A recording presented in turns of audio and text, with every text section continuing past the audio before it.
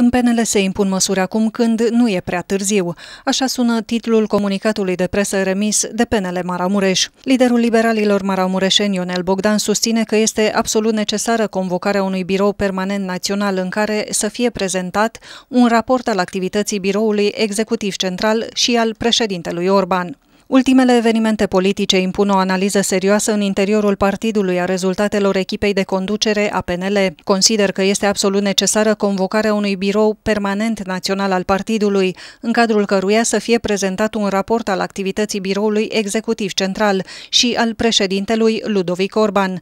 PNL este în acest moment la limita încrederii românilor. Nu oferă o alternativă credibilă și trebuie să întărim acest partid în jurul valorilor liberalismului autentic autentic, a spus Ionel Bogdan.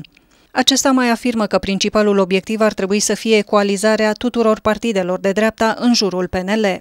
Nu putem să mai fim în continuare o locomotivă cu abur cu pretenții de tren de mare viteză. De noi depinde să schimbăm această percepție și să devenim acel partid de care e nevoie în România.